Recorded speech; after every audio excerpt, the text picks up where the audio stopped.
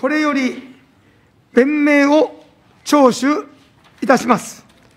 ガーシー君代理、浜田聡君。はい。NHK 党浜田聡でございます。ガーシー議員に代わって弁明書を代読させていただきます。国会を欠席する弁明書。私、ガーシーは楽天三木谷社長と俳優綾野剛氏によって警視庁に刑事告訴されていますが、これらは虚偽告訴です。これらに対抗するために私が綾野剛氏を、そして私所属の国政政党 NHK 党が三木谷社長をそれぞれ被告とした民事訴訟を先ほど東京地裁に提訴しました2人の虚偽告訴の事実が明らかになるまでは私ガーシーは不当な拘束を受ける可能性があるので被告登院をしません。以上でございます。以上で弁明の聴取は終わりました。